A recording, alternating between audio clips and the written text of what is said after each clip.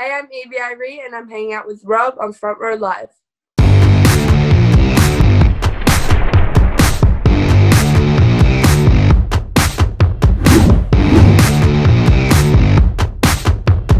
Congratulations with your new single, um, Worst Enemy. I've Thank been a fan of yours for the last couple tracks that I've been hearing. Um, and definitely excited to see like your progression and how much you're building and growing in this music industry. But talk to me about Worst Enemy and you know getting to work in the studio with uh, Greg Kurstin. I mean, it was just like, I guess when I went in, like, I'm not really a person who knows of anyone or like is really interested in knowing who anyone is. That's just like me personally. I'm just not really like, I'm not one of those music nerds who know everything. You know what I'm talking about? Like, know Mhm. the producers and know the writers and like all the credits. But um, I'd I'd heard of some of Greg Kurstin's stuff, and I was I was just chill about it. So I went in and I just acted normal, and he's just the most gorgeous guy in the world. And I was just like, wow, this is real art. This is just what real musicians do. He's just another one of us. You know what I mean? So it was very surreal because he's very talented, but yeah, he's just he's just a, a normal person and a very good creative and talented so crazy talented. So I feel like I was very honored to be able to get to work with him in that sense because of his skill level and I learned so much from him and like he teaches me so much and just like inspires me a lot. So I guess it's just it's surreal to know that like someone who's so little and like comes from such a little town and like you know from a little school and just you know what I mean like so small can end up somewhere so huge Right. So, was was this the first time that you collaborated with with like another producer that wasn't, you know, either a friend or someone that you worked back home with? Mm-mm. no I'd been producing with a whole ton of different people Okay. I've been producing with um like a lot of a lot of big producers but like he was he was sort of like one of the biggest one. Hmm one of the biggest producers. And i think it was like more of a big like a big deal because you know everyone's everyone knows his name except me obviously. But everyone knew of his name. And so i was just i just went along with it really. I was just like okay that's sort of what i do. I just don't really know anything and just say yes and just go in with it. You know be myself and just wanting to create good music that's all i really want to do. So that's what i did. So going into the studio with him, like, how do you feel like he challenged you uh, with this uh, track? Well, I think that like he puts very like signature like things and everything. Like his drums are very signature and his piano was very signature as well. So when we started it was just piano. It was just a piano ballad and like we had this chorus Now I, I was in love with it. And I was I just thought it was gonna be another piano ballad, honestly. I didn't really like expect it to come together the way it did because I knew I wanted to have like urban influence and I knew I wanted to have like it I want I knew I wanted the choristers to be very like Queen and Elton John like inspired, Mm. 70s inspired. And I also wanted it to sound very modern and very Evie. And I was still like a little unsure how we were going to do that. So he challenged me in the way of like melodically thinking around like how the he made us write the melody first before he put the production down, which was hard because without knowing the beat, you don't really know direction. In if that makes sense. I mean, for me at least, it was challenging because that's usually it's like you write on top of a beat, you write on top Right. of whatever the producer comes up with. But this is like he really challenged us to do that, and that was hard for me because that's not something I'm used to. But also like, I don't know, he give he he lets you have a lot of creative creative freedom, which is also another thing that's challenging because when you have more freedom, you have opportunity to do whatever. So it's hard to decide and it's hard to be specific with everything you want. And he's just he's just very talented. He's great. He's great. Now you mentioned making sure that it was the Evie sound. What is the Evie sound? Do you know that for sure already, or is that something that you're still trying to kind of figure out as you're making new music and releasing new music? I mean, I mean, I feel like now I've, I've, I have like, to myself writing. I have a very signature like, um, way, and usually it's just like, speaking lyrics that are less, like surface, and lyrics that are real, like that have some sort of deep meaning or some sort of like, you know, they're not, they're not like they're not stupid lyrics, you know what I mean? They're not just like throwaway lyrics. They have meaning and like the melodies are very like very certain. I don't know how to explain it in like normal way, but like I mean if you need to sing it, go ahead and sing it. It's a musician thing. It's a musician thing. It's an artist thing. It's about yeah. capturing the energy in the room. That's really the sound is like you capture this energy. And I think when I go into a room with people who are all creatives and all very talented and on the same like you know, on the same feeling as you, on the same like creative wavelength. I don't know how to explain this properly because it's hard. Musicians are very unique species, and it's like when you put all of them in one room, you get something different. And I think that's a part of the sound there's a lot of different there's a lot of different things that make up like an Evie sound for myself I feel like but I've definitely like from since the last few songs and the EP I think that I've I've definitely like pulled it together and definitely know what that spirit is. Now, you know, how different was the creative process with Over Him compared to Worst Enemy? Well, it's interesting you say that because Worst Enemy was actually written before um, Over Him.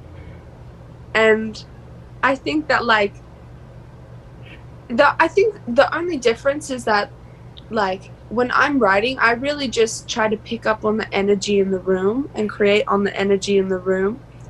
So I was like Over Him was very much like I'm in London. It's very grungy. It's dark. It's like there's this mood to it, and Worst Enemy was completely different. It was just a different energy of the day. It was a different mood, and so I think that like like with what you were saying, I don't know. It just I don't know how to explain it properly. It's hard to like. I hope you understand what I mean, because it's it's a very it's a very specific like way of capturing music because music is just storytelling and i like to tell a very like i like to not only tell the story through lyric but through melody. And i like the production to all capture that. And it always does because i'm never writing a story that's not like cohesive to the energy in the room that day. So it varies every time for sure. Yeah. So as you're kind of preparing to, you know, release a sophomore EP, um, where do you feel your mindset is on this EP? Like, and how do you feel you've kind of evolved as an artist with this record? Hmm, it's a, that's a really good question because I think that like I don't know how much more writing I'm going to be doing until I release a song, but I'm sitting on piles and piles of music right now. I'm sitting on so much music. It's crazy. So I probably like I'll probably pick and choose what I feel like goes to, I don't really know. I haven't put much thought around it. It's sort of I feel like the evolution is like I don't know if sonically it will all fit together, but dude, this is such a hard question. because now my mind's like, oh shit, what am I gonna do for this? The next thing. This is crazy. What am I gonna do? I'm actually screwed. I get into like very deep thought or with everything, like to the detail. And this is not something I've actually thought about yet. So like I'm I'm actually freaking out a little bit. What am I I'm really confused what I'm about to do. But it's good to think about at least. So since you since you get in that since your mind goes like that uh, when you are thinking about your music or or songs, do you feel like there were specific lyrics or part of the production for Worst Enemy that kind of challenged you to the point where you weren't sure if it was going to make the cut or you didn't know how to finish the song? Did that happen to you on this track? No, no, we wrote the song in like an hour. We wrote the song very fast. It just came together because it's it just when you capture when everything's there and you can just capture it. There's no premeditating it. It just it flows. It's just perfect. It's just genuinely like perfection.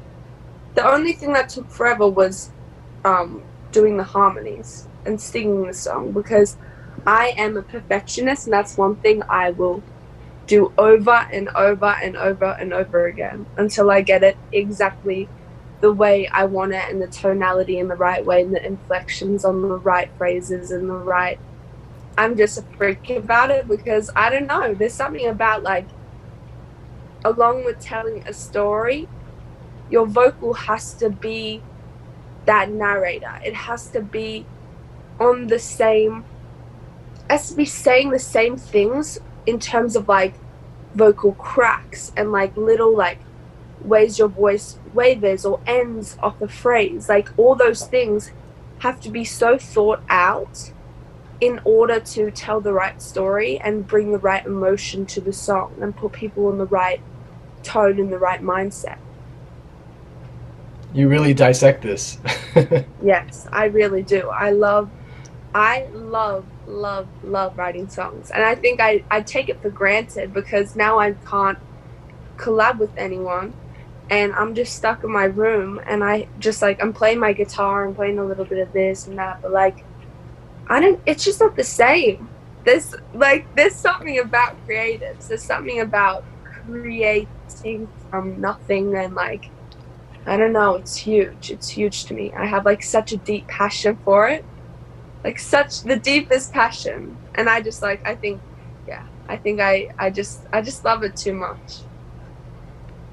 Now, aside from really going all in with your songwriting and your productions, I feel like you also go on in with your music videos. The last couple videos that I've seen, including the one that dropped today, um, you know, it, it's. I feel like you're very particular on what, how they look and, and how you know, whether or not it matches your style. Um, talk to me about this new new video for Worst Enemy and like how much input did you have for it and what was that creative process like for you That was actually like one of the I would say every music video I do is very hard to come up with because I'm very detailed with everything I want and like I worked with the Reggie boys on this and they are just like the most talented young producer direct like whatever they are. They're the most talented directors in the world. Like so so great. So like they just they sort of brought like the youthful energy into something so deep and i think that like